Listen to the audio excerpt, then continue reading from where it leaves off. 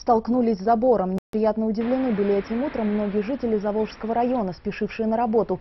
Вместо привычного пешеходного перехода между остановками у кинотеатра «Аврора» появилась секция ограждений. Преодолеть дорогу напрямик теперь невозможно. Пешеходам приходится идти в обход до перекрестка проспекта Машиностроителей и улицы Орджоникидзе.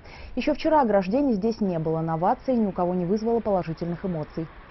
Все делается не так, как для людей, а против людей.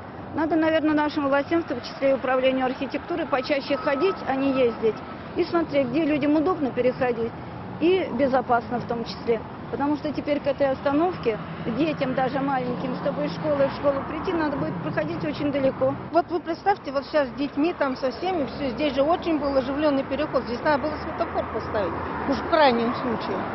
Но не убирать его. Это дурдом, натуральный дурдом. О чем мы здесь всегда ходим здесь, всю жизнь ходили. Ну, машинки тормозит, ну, кто-то не, не тормозит, а кто-то, ну, вот, в принципе, там нормально там были водители. Кошмар. А что, мне обходить утра и потом обходить, да?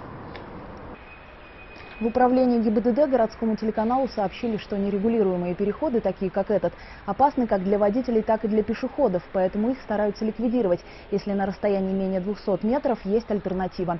Переход на остановке у «Авроры» как раз тому пример.